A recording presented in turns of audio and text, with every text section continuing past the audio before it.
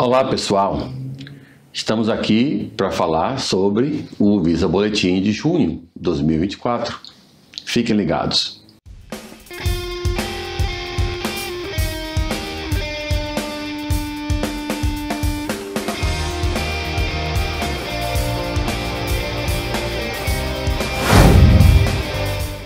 Então, gente, sabe o que tem diferente entre o Visa Boletim de maio e de junho? Vê se você consegue achar a diferença aqui.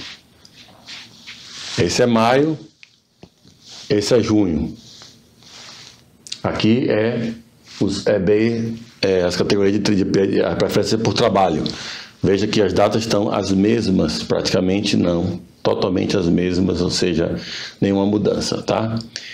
Eu quero só deixar você saber, você sabe já que não vai ter mudança mesmo até talvez outubro, mas a gente tem uma notícia não muito boa para as categorias EB, EB2 e EB3, que é um retrocesso ainda maior que vai acontecer ou pode acontecer nos próximos meses. Então, se você abrir o Visa Boletim de junho, vai ver que as datas estão iguais, então a gente já esperava por isso, mas o que a gente não esperava é isso. No finalzinho aqui, se você for scroll down, né, você vai ver aqui a, o ponto, o item D e o item E. O D fala de EB2 e o E fala de EB3. E aqui é a mesma linguagem. Eu não sei nem porque eles não fizeram só um ponto e colocaram EB2 e EB3. Porque tinha que fazer um para cada um, mas enfim.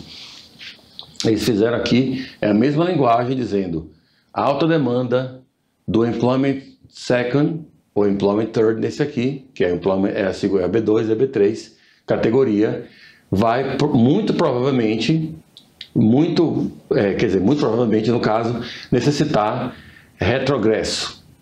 Então, retrocesso. Então, vai ter um retrocesso é, na, na, é, na conta mundial, né, para todos os países, mas incluindo também México e Filipinas, no Final Action Date. Então, o Final Action Date vai mudar, vai, vai, vai para trás, provavelmente. Nesses casos aqui, no próximo mês, para manter os números dentro do limite máximo autorizado para o ano fiscal 2024, o limite anual. Essa situação vai continuar sendo monitorada e vai ter ajustes necessários é, e não de acordo com a disponibilidade. Então, Vai haver realmente, a gente está achando que realmente vai ter esse retrocesso, do, ainda mais, não sei quantos meses eles vão retroceder, né, mas vai ter um retrocesso provavelmente, e aí a gente está esperando agora ver como vai ficar em outubro. Se continuar da forma que está, é capaz de outubro também não ter um retrocesso muito grande.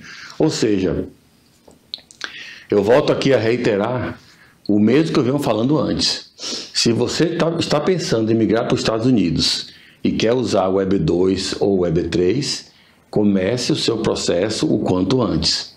Quanto mais você esperar pelo Visa Bulletin, mais tempo vai levar para chegar na sua data de prioridade, porque o Visa Bulletin não vai alcançar, você não vai conseguir chegar na frente dele.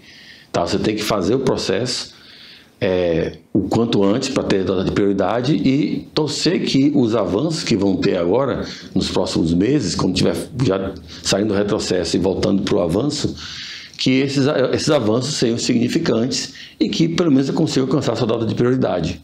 Ou que a imigração comece a aceitar novamente o Date Filing.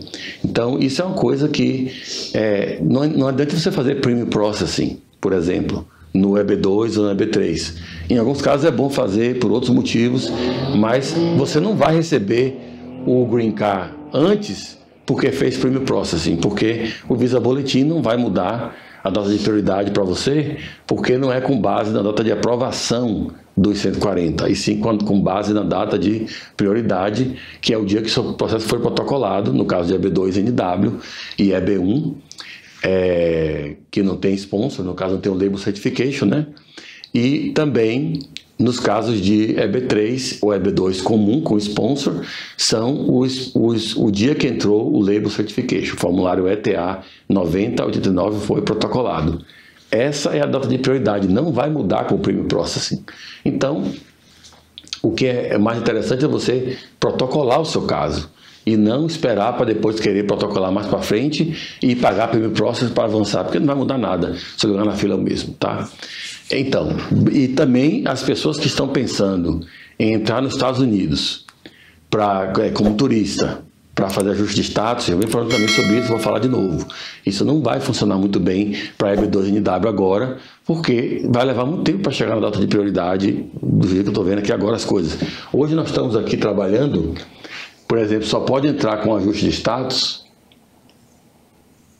é, quem, quem protocolou o processo é, Final Action Date em janeiro é, 15 de 2023 para o EB2 e para o EB3 22 de novembro de 2022. O Other Worker nem se fala, está em 2020. Então, é, realmente é, não dá para você pensar que vai entrar como turista e esperar seis meses e depois entrar, é, tentar entrar com ajuste de status, porque não vai acontecer. Você vai ter que provavelmente mudar de status, conseguir talvez, sei lá, um status de estudante para ficar indo para a escola, mas não pode trabalhar. Então, como é que você vai se manter aqui todo esse tempo, pagando escola, sem trabalhar, esperando o dia que o Visa Boletim decidir que está na hora de, chamar seu lugar na fila? Então, não é um plano muito bom tá? Se você quiser um plano melhor para você esperar por um EB3 ou um EB2 nos Estados Unidos e poder não ter que gastar com escola e trabalhar, veja um dos vistos temporários. Tem muitos vistos, como H1B, H2B, em alguns casos H2A.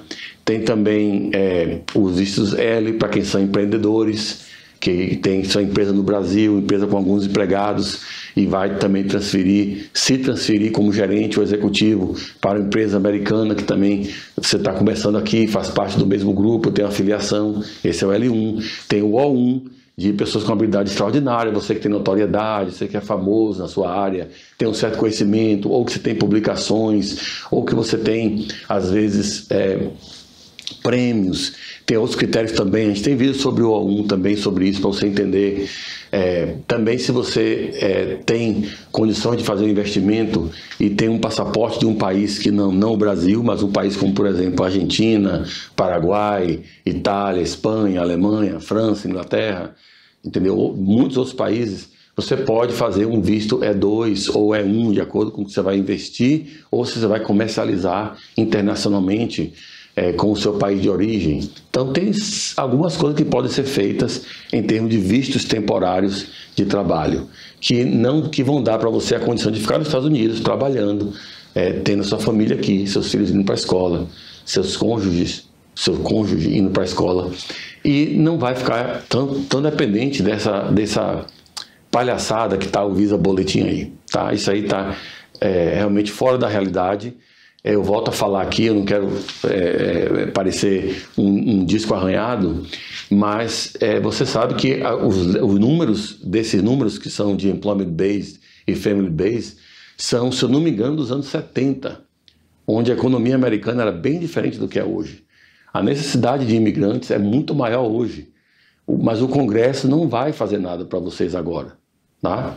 Talvez no, nos próximos anos, se algumas coisas acontecerem politicamente, o Congresso vá poder realmente decidir uma reforma migratória, inclusive aumentar também os vistos é, de trabalho, de família, por família, por trabalho, nessas categorias, para quem está aplicando legalmente, mas também legalizar os que estão aqui fora de status. Isso pode acontecer desde que algumas coisas aconteçam politicamente nessa eleição agora e no próximo ano. Depois eu vou fazer um vídeo explicando sobre isso o que é que precisa acontecer para ter uma reforma migratória. E a gente vai ver então como vai ficar agora os próximos Visa Bulletin. Mas eu imagino que o próximo que vai ter alguma coisa mais significante talvez seja em outubro, quando começar o próximo ano fiscal 2025. Tá? A gente vai saber isso aí no começo de setembro, quando for publicado o Visa Boletim de outubro. É, espero que tenham gostado do vídeo e que, é, se não subscreveram no nosso canal, subscrevam e aperte o sininho para ser notificado quando subir um vídeo novo. E nos vemos na próxima. Tchau, pessoal.